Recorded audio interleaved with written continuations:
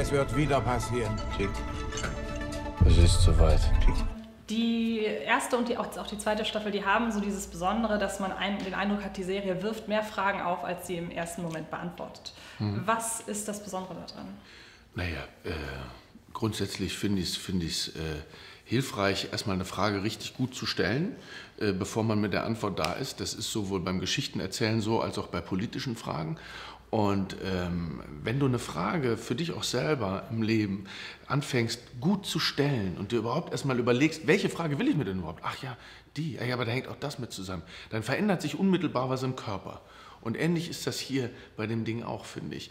Dadurch, dass es immer präziser bestimmte Fragen stellt, verändert sich der Organismus, der da erzählt wird. Und beim Gucken macht es auch was äh, äh, mit dir.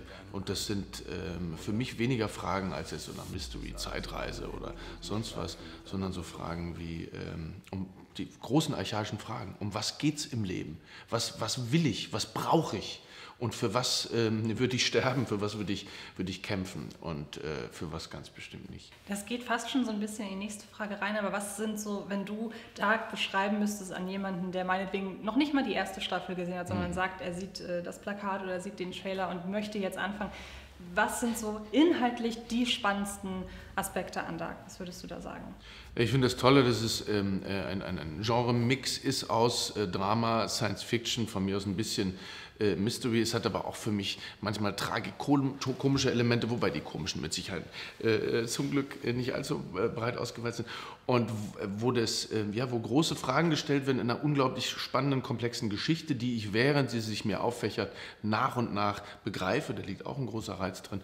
Und es macht einfach auch unglaublichen Spaß, einfach in diese Welt einzutauchen. Deine Rolle in Altimir ist viel größer, als du denkst. Es gibt einen Weg. Es gibt ja gerade so jetzt, wo die Serien so eine Hochzeit äh, entwickelt haben, ganz viele Theorien. Wenn man ins Internet geht und Dark eingibt und dann Theorien, haben, schon, haben sich Fans schon die, weiß nicht, die fünfte, sechste Staffel ausgemalt, genau. so gefühlt. Ja. Ähm, beobachtest du sowas? Interessiert dich sowas auch selbst? Äh, äh, mich interessiert das, ich beobachte das nicht, weil ich relativ äh, nicht digital äh, durch, durchs Leben komme, aber finde es, find es spannend, dass es, naja, dass das mit den Leuten so viel macht und dass die anfangen, äh, sich, sich was auszudenken, dass sie davon infiziert sind. Das ist ja mehr als jetzt so ein normaler Fankult, wo man irgendwas cool findet und abfeiert. Man versucht es sich zu erklären, man versucht es zu fassen, man versucht es zu begreifen im buchstäblichen Sinne.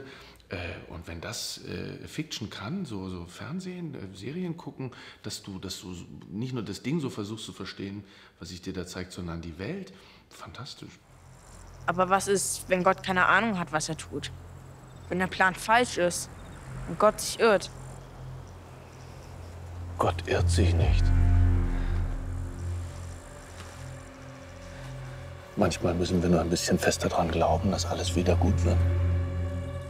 Überhaupt hatte ja Fernsehen oder Serie generell lang, lange Zeit den Stellenwert, es ist eher so wenig, es ist eher so Unterhaltung und nicht so komplex wie Geschichten, die auf der Leinwand erzählt werden. Das hat sich ja mittlerweile sehr geändert. Also man hat, wenn man Game of Thrones hat, wenn man halt eben Dark hat, wenn man, keine Ahnung, How to Sell Drugs Online Fast hat, um nochmal auf eine deutsche Serie zurückzukommen, dann entwickeln sich ja viel komplexere Geschichten mittlerweile. Was glaubst du, wo kam dieser Wandel her von Serien sind so nebenbei Berieselung zu, es ist eigentlich der Haupt die Hauptart, wie man sich mittlerweile unterhält?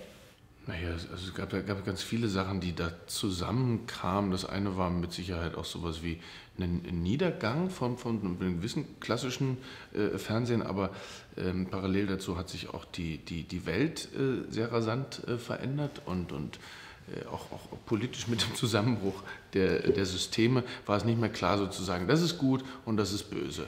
Und da kann man sich nun verorten und da muss nun ähm, Rambo nach Afghanistan und irgendwelche amerikanischen Leute, äh, Soldaten befreien, sondern die Welt ist so komplex, dass du ähm, bei den Guten hast du böse und bei den Bösen hast du, hast du ein paar gute.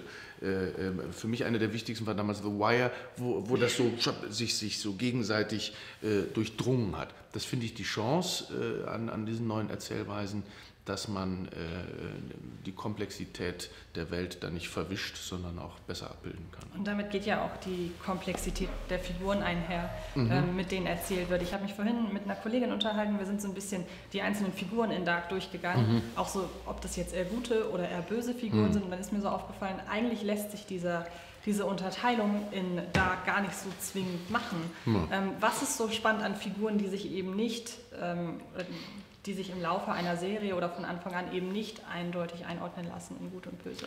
Die haben wohl mehr mit der Welt zu tun. Natürlich haben auch wir noch das Bedürfnis geprägt von, von, äh, von Grimms Märchen und unserem christlichen Abendland, die Welt in Gut und Böse einzuteilen und zu wissen, das ist deswegen der Feind, weil er böse ist. Aber mit einem bisschen Abstand und mit einem bisschen Sachverstand und ein bisschen mehr Aufklärung ähm, kann man erkennen, dass es das auch im Leben nicht gibt.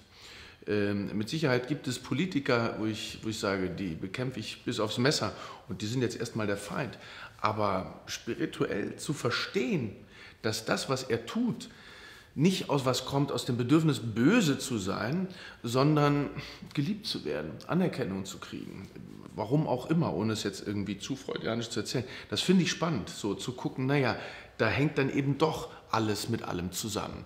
Und da kann jemand, der, der sagt, naja, ich mache das alles, weil ich voller Hass bin, der macht das, weil er geliebt werden will. Und ähm, ja, gut und böse sind Geschichten, sind Stories, die wir uns über was ausdenken. Was ich heute gut nenne, kann morgen böse sein und was ich heute böse nenne, ist für jemand anders in einem anderen Land äh, das Gegenteil.